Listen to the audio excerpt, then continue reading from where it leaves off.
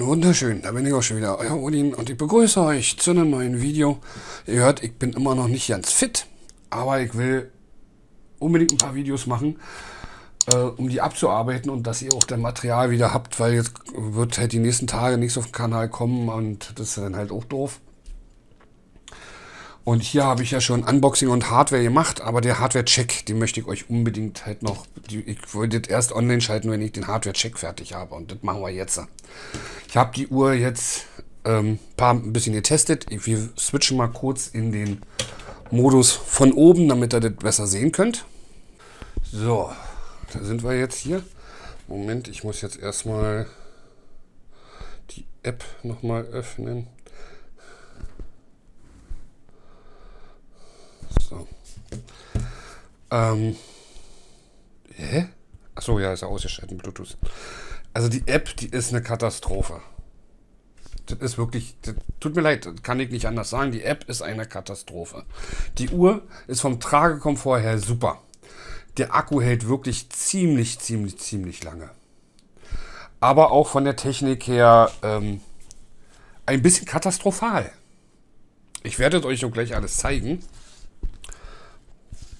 Erstmal so, man kann sie wirklich super ablesen, die Uhr. Ich werde mal versuchen, dass ich euch noch ein bisschen ranzoome. So, weiter kann ich euch leider nicht ranzoomen. Man kann wirklich alles super ablesen, man kann das Display auch noch ändern. Hier hat man dann die einzelnen Sachen.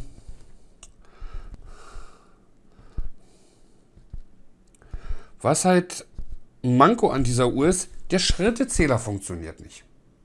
Diese Uhr misst keine Schritte. Also bei mir jedenfalls nicht. Ja, ich muss hier hoch und dann sagen Bewegung. Gehen wir nochmal raus. Ich zeige euch nochmal. Das ist praktisch so. Einmal nach unten machen und dann kommt Zustand. Zustand. So.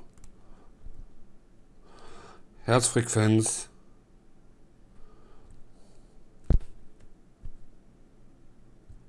Normale. So, da. Herzfrequenz. Blutdrucksättigung. So, und dann hier haben wir Bewegung. Und da können wir dann jetzt sagen, wir joggen, wir machen schnelles Gehen. Und dann können wir sagen, go und dann, dann latschen wir. Oder Fahrrad fahren. Es werden keine Schritte von der Uhr aus selbst gemessen.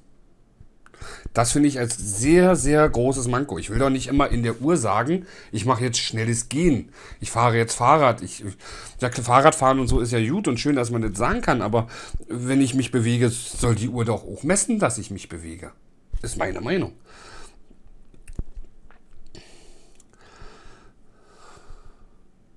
Übungsprotokoll, Wetter, hier haben wir dann noch Wetter, das ist auch relativ genau, wenn es gerade mal anzeigt, das ist jetzt erst wieder mit dem Bluetooth verbunden.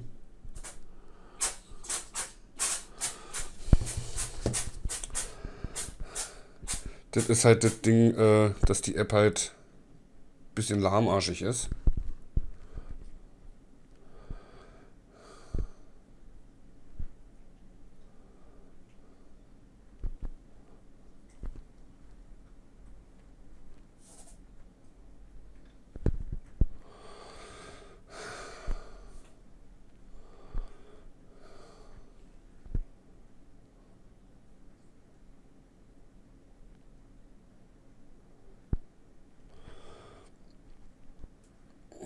Wir können auch das Ziffernblatt ändern.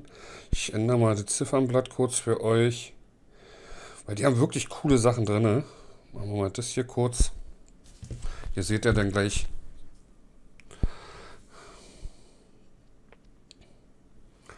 Dass ihr das mal seht, wie schnell das geht halt.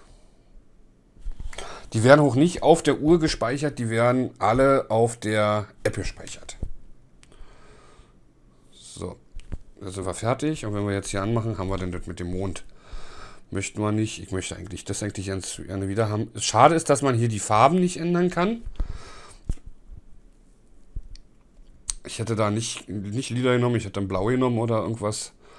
Aber äh, von, vom Aufbau finde ich das halt ja ganz gut. Da siehst du mit den Schritten und so, wenn es dann mal funktioniert,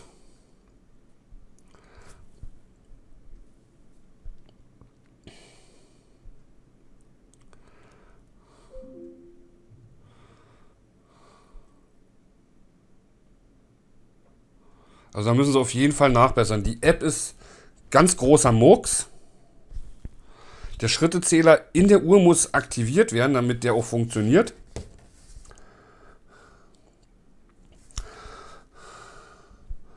Und jetzt zeige ich euch, was noch Murks ist. So, passt auf. Ich zoome ein Stück raus. So, damit ihr das wirklich sehen könnt. So, passt auf. Hier ist meine Hand. Ja, Hand. So, ich mache die mit Absicht jetzt mal nicht ran. Ich will euch mal was demonstrieren. So, und zwar wollen wir jetzt eine Messung machen. So, ich, ich mache die Uhr jetzt hier einfach rauf. Ich halte die jetzt mal nur mal fest. Ne? Zack, testen und ich halte die jetzt einfach mal hier so fest.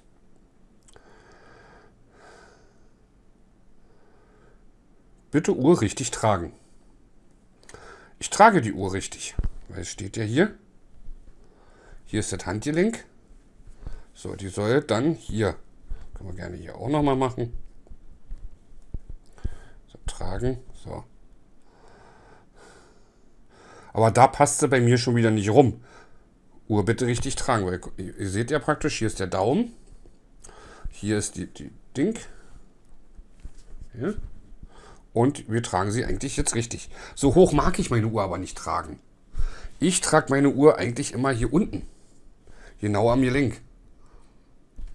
Aber passt mal auf, was funktioniert.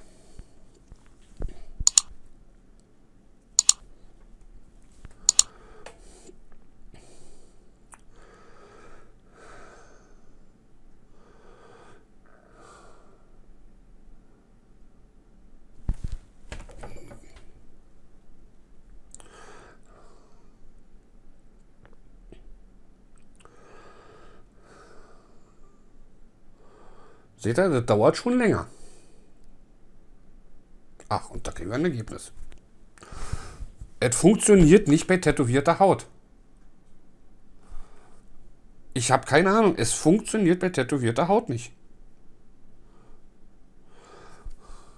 Hier unten sind auch die Sensoren mit dem, mit dem Akku. Das hat alles super funktioniert mit dem Laden.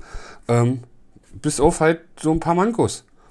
Tragekomfort von der Uhr durch das, durch das breitere, Gummi, äh, breitere Gummiband.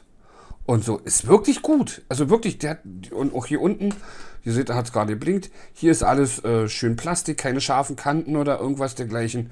Das ist richtig gut. Aber äh, sie misst gerade.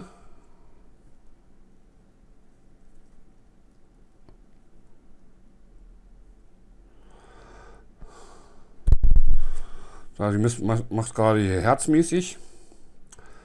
Ja, 55, 56. Das funktioniert alles. 57. Das funktioniert sehr gut. Ja? Aber wenn ich das jetzt hier auf die tätowierte Haut mache, bumm, funktioniert schon wieder nicht. Ja? Wir können mal kurz warten, bis es wieder grün wird hier. So, ich, ich mache es jetzt wieder auf die Haut.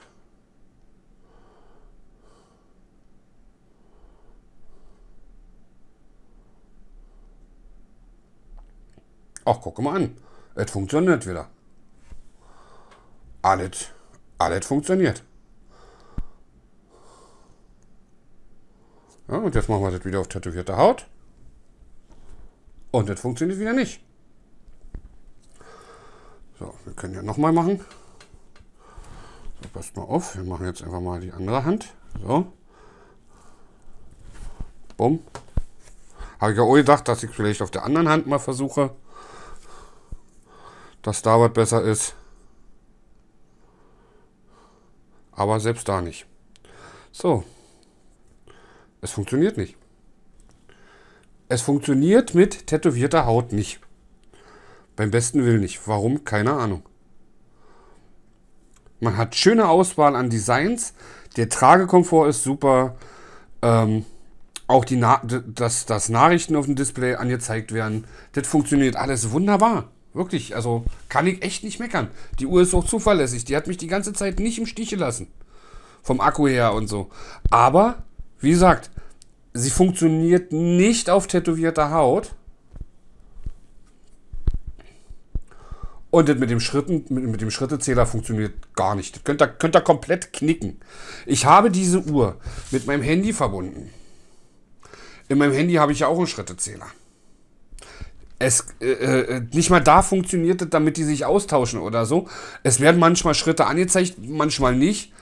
Äh, letztens wurden mir 50 Schritte angezeigt, äh, wo ich aber viel, viel weiter war. Also, dann wurden mir für die gleiche Strecke nächsten Tag 700 Schritte angezeigt.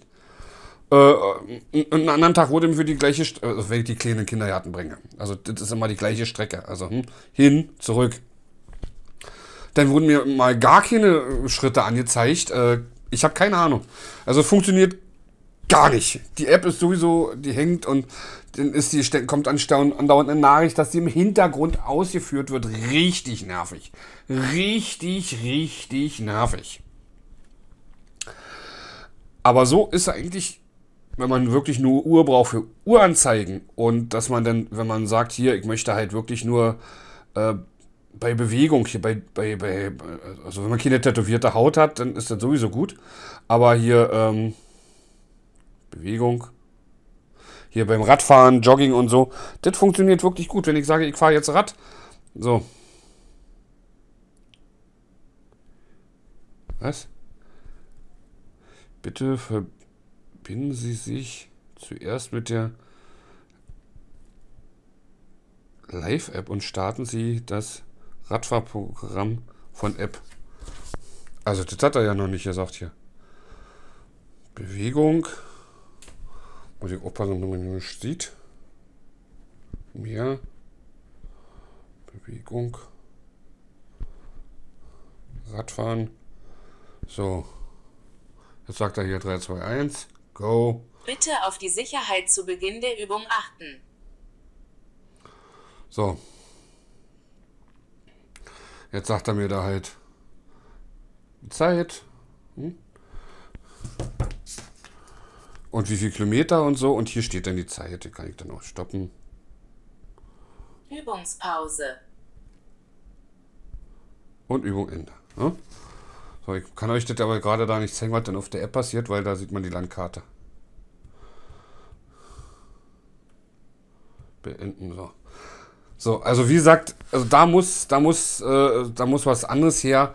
Das muss besser mit der App irgendwie funktionieren. Die beiden müssen ein bisschen mehr kommunizieren. Äh, auch, dass das Handy vielleicht hier sagt, hier Bewegung und so, oder dass die sich abgleichen.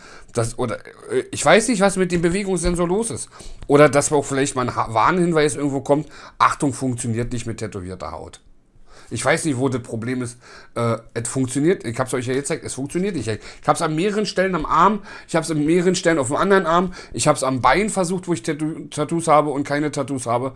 Also äh, da, wo nicht tätowiert ist, funktioniert es super. Da, wo tätowiert ist, funktioniert sie nicht. Kann ich euch nochmal zeigen. Hm? Ich nehme jetzt einfach mal mein. Hier ist wirklich auf, auf den Handrücken. Da ist wirklich kein Muskel. Nicht wirklich. Das ist ja wirklich nur Haut, Sehnen und alle drum und dran. So. Gehen wir jetzt mal durch.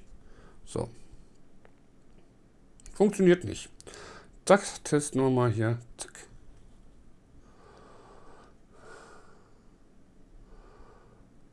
Funktioniert auch nicht. Und hier ist, hier ist ja nichts. Hier ist ja wirklich nur ein bisschen was. Aber selbst hier oben, Oberarm nicht. Also ich habe alles wirklich probiert. Es ist nichts zu machen. Diese Uhr funktioniert nicht mit tätowierter Haut. Naja, was soll man machen? Das soll es jetzt dazu auch soweit gewesen sein, zu meinem Fazit. Wie gesagt, Tragekomfort super. Display super. Akku auch cool, hält schön lange. App, ganz großes Chaos. Schrittezähler funktioniert nicht, mit tätowierter Haut funktioniert es nicht, aber sonst macht sie. Ich habe sie auch dann eine Weile so getragen, also dass sie hier unten ist. Da macht sie alles wunderbar. Also wirklich.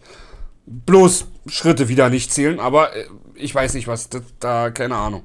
Aber sonst hat sie das alles gemacht, was sie verspricht. So. Das soll es jetzt noch dazu gewesen sein. Ich hoffe, hat euch gefreut. Wenn es euch gefreut hat, Däumchen werden. Oh Gott. Entschuldigung. Träumchen. Wir sehen uns im nächsten Video wieder. Bis dahin, ahoi. Sagt euer Odin.